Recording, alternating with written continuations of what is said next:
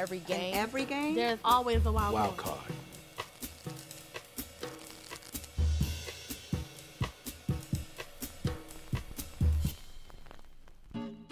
If I was a playing card, I would be an ace of spades because it's one of the most powerful cards in the deck. You bet on me, you're gonna win every time.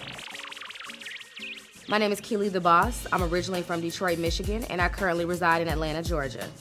I grew up in an historical neighborhood inside of Detroit called Boston Edison. Berry Gordy, the founder of Motown Records, was my neighbor. My first concert at three years old was Michael Jackson Bad Tour. I've always been connected to music from day one.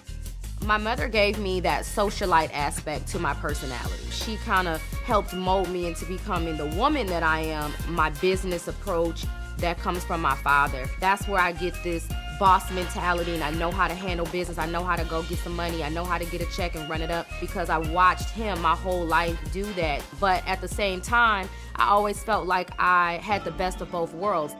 I didn't just get handed success. I've worked hard for my name. I have sacrificed. I've struggled. A lot of people wonder about the hard work that I put into being a music industry executive. My resume speaks for itself. I have platinum plaques from projects that I've been a part of. I wanted to join the cast of Love and Hip Hop because I literally went through a journey to be able to walk up in these major labels and broker deals or develop artists into stars. Life is a game. You gotta know how to play it. You have to know how to gamble. If you don't take any risk, you'll never win. It's no different on Love and Hip Hop. That's why they call it reality TV is because it's real. For some reason, when Keely the boss walks in the room, it's like, ooh. I don't understand why people are so like scared of me, but since filming Love and Hip Hop, I have realized what my triggers are. I am truly no nonsense. Lord have mercy. I don't know what the future holds. I'm real focused right now. I feel like it's my game. I'm Keely the boss. Saying you're a boss isn't a financial thing, it's a mentality. It's how you live your life.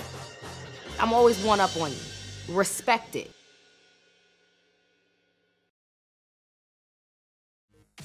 Hey guys, it's Estelita. If you like this video, guess what? I got plenty more for you. Subscribe to VH1 YouTube channel and get videos sent direct to your inbox. It's that easy.